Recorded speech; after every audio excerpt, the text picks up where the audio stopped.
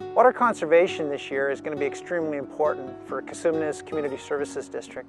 The Park and Recreation Department is one of the biggest users in Elk Grove. We use over a billion gallons of water each year, and that's uh, about $1.7 million of the taxpayers' money. We want to make sure that we use that extremely well. Cosumnes CSD has a plan to use less water this year and make sure water conservation is at the top of our list. The first is using 20% less water and more staff in the field to make sure our systems work properly.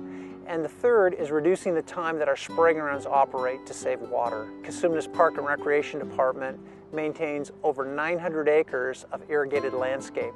That's in the parks, the corridors, and also the water that we use at our facilities like at our community centers.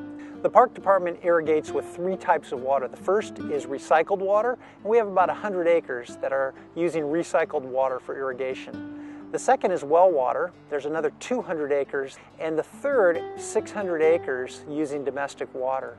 So it's very important that we manage that water well the key tool used by the Park and Rec Department to ensure water is used less this year is our centralized computer irrigation system.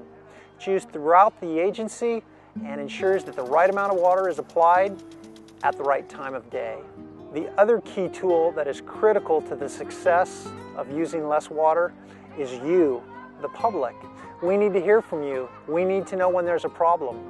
We do have six people that are in the field full time. However, we have a lot more sites that need attention.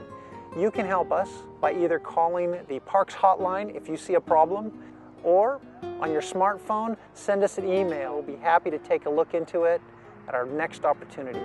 If you'd like to learn more about what the CSD is doing in terms of water conservation, go to our website, yourcsd.com, and see what our latest information is.